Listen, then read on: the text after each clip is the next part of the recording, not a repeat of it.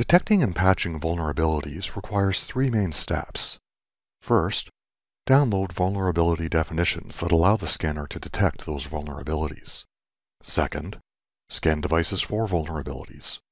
Third, download and apply patches for the detected vulnerabilities.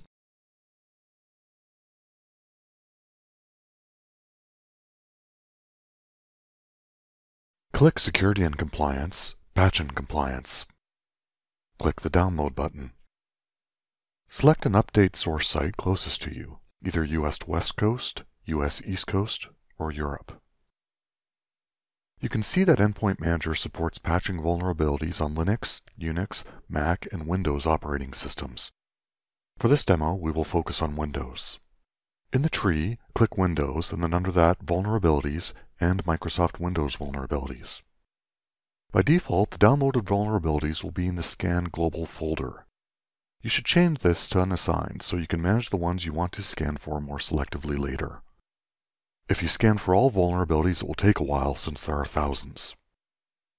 On the Patch Location tab, select where the patches are stored. This is where devices will download the patches from. By default, they download from the core server, but you can specify a different UNC path or web URL. In a production environment, you'll probably want to move these to another server. The download process will take a while if this is your first time downloading, perhaps a half hour or more. Downloads after this will be much quicker. You can schedule regular content downloads by clicking the Schedule Download button. Click Apply to apply your changes, then click Download Now.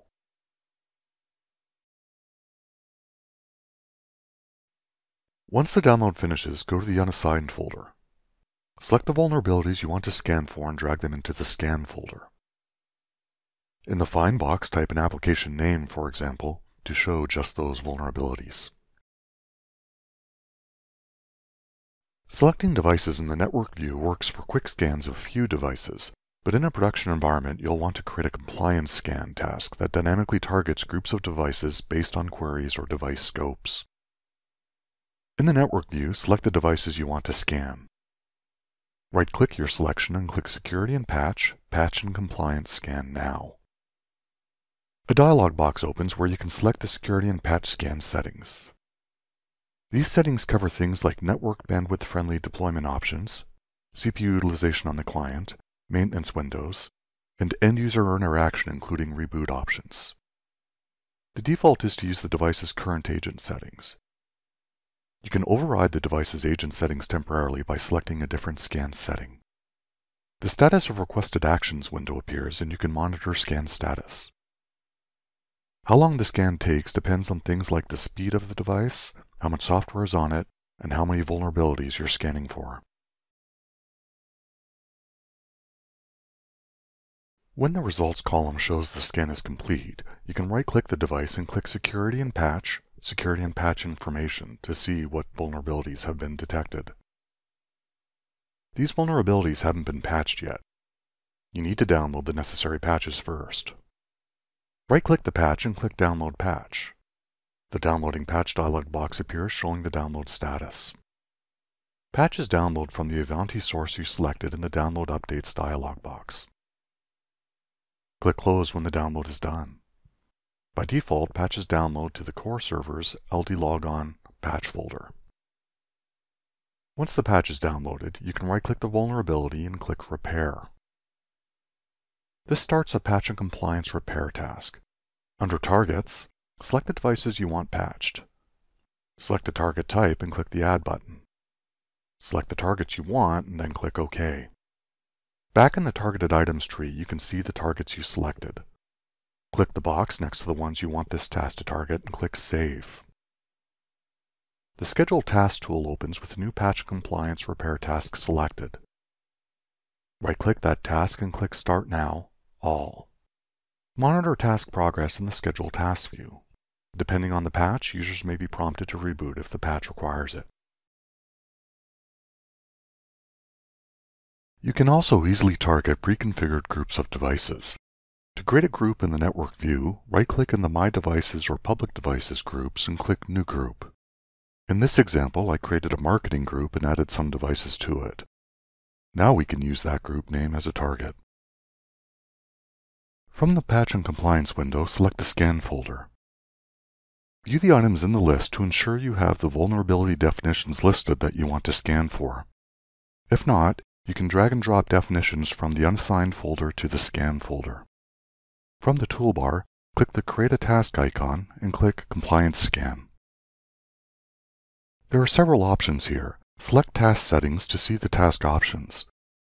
We will keep the default task type of Policy Supported Push, which means it will immediately scan devices that are turned on and on the network, and for those that aren't currently turned on, it will run as a policy when they turn on or connect to the network. Select targets. There are several methods for targeting devices. In our case, we will select targeted device groups, click Add, and select the marketing device group that I created earlier. Click Save. We see the compliance scan task in the Schedule Task tool. Right-click the task, choose Start Now and All. You can then monitor the progress of this compliance scan task. Now we can create a task to install multiple missing patches on multiple devices. From the Patch and Compliance window, select the Detected folder. If nothing appears in the list view on the right, you will need to run a Patch and Compliance scan, but we've already done that. From the list view, select the vulnerabilities you would like to repair or patch. You can sort by any of the columns to find the desired set of vulnerabilities. You may also select all by pressing Alt-A. Right-click the list of selected vulnerabilities and click Download Associated Patches. From the list, select the patches that haven't been downloaded and then click Download. When this completes, close the window. Return to the Patch and Compliance tool. Be sure the vulnerabilities are still selected. From the toolbar, click the Create a Task icon and click Repair. Here you'll choose the appropriate task settings. From Repair Settings, under Add Targets, choose Add All Affected Computers. To see which vulnerabilities will be patched, click Patch List. We will leave the remaining options at their default settings. Click Save. We see the Compliance Scan task in the Schedule Task tool. Right-click the task, click Start Now and All. You can then monitor the progress of this repair task.